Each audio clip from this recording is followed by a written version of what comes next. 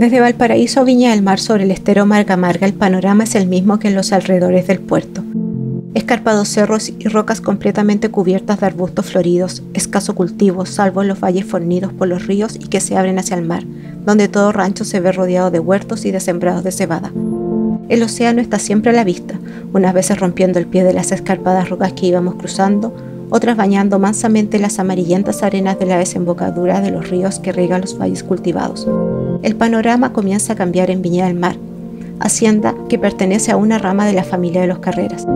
La llanura se abre y se ensancha, las viñas y los potreros tienen más extensión. Los arbustos toman casi la apariencia de árboles. En los cerros hay frecuentes mantos de pasto fino, donde el ganado encuentra abundante forraje. Y aquí y allá, palmas que adornan los costados del valle. María Graja, diario de su residencia en Chile, 1822, y de su viaje al Brasil, 1823.